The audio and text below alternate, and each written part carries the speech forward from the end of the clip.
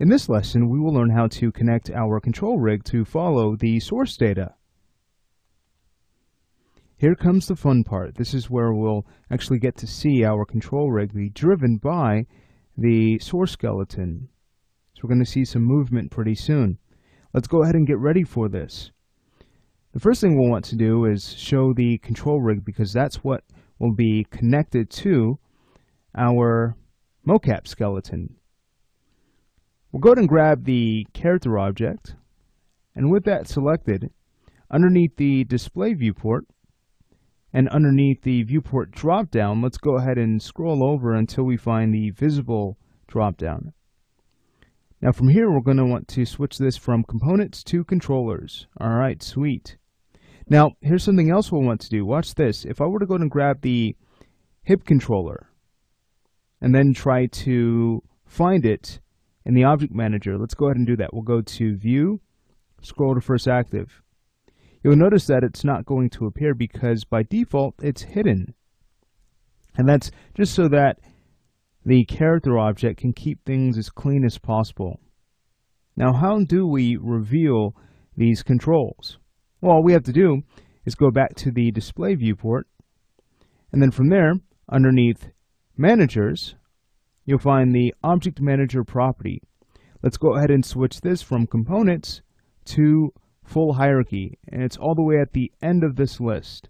Sweet. Now, watch this. When we go back to that same hip control, View, scroll to First Active, there it is. We can access it now. Let's go ahead and start there since we already have it selected.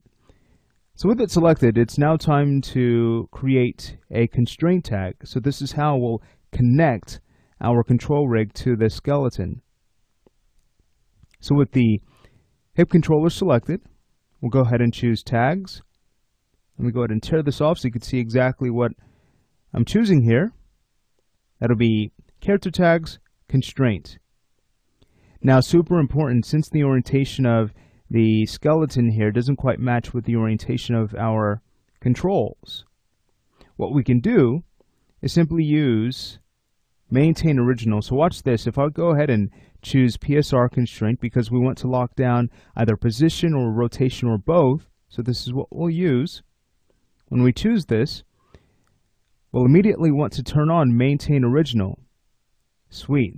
That way we keep the offset that the control has so it doesn't shift when we constrain it to the joint that will eventually drive it. Now I'll make sure that position and rotation are checked here. And then we'll go ahead and lock down the attributes manager. Now it's time to search for the joint that should drive this control. So if we were to go ahead and scroll up to the top, where we find our source skeleton's hierarchy, clearly that's the hip joint, right? If you need to, you could always just go ahead and select it right here from your viewport. But I already know that that's the hip joint that we'll need to assign to the target field. So all we have to do is go ahead and drag and drop. Let's go ahead and add the hip joint to our target field here. And now watch this instantly, you'll notice movement. If I go ahead and start to scrub, there you have it. How cool. Let's go to filter and turn on polygons so we could see this in action. We'll start to scrub. And there you have it. The hips are now being controlled. How cool. Something else to keep in mind is that if you ever wanted to create an offset, you can go ahead and use your offset properties right here underneath the constraint tag.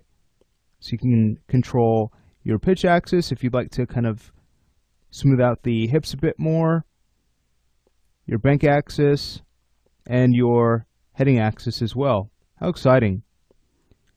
In the next lesson, I'm going to go ahead and show you a way you can actually insert a control so you can access these values a bit faster if you'd like. Alright, but that's working out very well. Now, you can see that the center of gravity control isn't quite moving along. I prefer to have it move along so it doesn't move too far away from the rest of the animation. But since we're already controlling rotation here, what we can do is lock down the position of this control by the position of that same hip joint, and we'll be good to go. So let's go ahead and do that. With the center of gravity control selected, should be named the torso control. I'll go ahead and use scroll to first active to find it. So that's view, scroll to first active. There it is. All right, so with that selected, we can go ahead and add another constraint tag. All right, sweet. So once that has been added, you'll then want to unlock your attributes manager. Let's go ahead and choose the constraint we need. Again, that's PSR. And then let's say we go ahead and lock this down. Once again, once we have these properties loaded in, we'll choose maintain original. We'll uncheck rotation this time. And then we'll go ahead and search for the same hip joint. There it is. So we can now go ahead and left click and drag and add it to the target field. So now when we start to have a look at the animation, you can see the center of gravity is following along and all is well. Cool. So that basically brings us to the upper body control, our chest control here. It's going to work the same way. Let's go ahead and find it. View, scroll to first active. All right, once we find it, it's time to add the constraint tag. All right, sweet. So you can see how straightforward this is. And then from there, let's go ahead and unlock the attributes manager. Let's go ahead and choose the type of constraint we need. Again, PSR. Let's turn on maintain original. Let's go ahead and lock down our property page here. We're going to make sure we tie in both position and rotation. So knowing that, it's now time to find the chest bone. So if you would like, you can always select it right here in your viewport. And then choose View, scroll to first active, so you can go ahead and find it. All right, there it is. It's named Spine 1. So let's go ahead and add this object to our target field. Let's go ahead and check and make sure all is well. And there is the chest. How exciting is that? You can see how it's all starting to come together, right? Sweet. All right, so that's that's really neat how this is all working out. And I can see that there are a few areas that kind of twist just a bit, but again, we can go ahead and fix that with our offset properties. So in the next lesson, what I'd like to do is go ahead and show you how you can set up a, a type of offset control that you can use to quickly correct issues like this.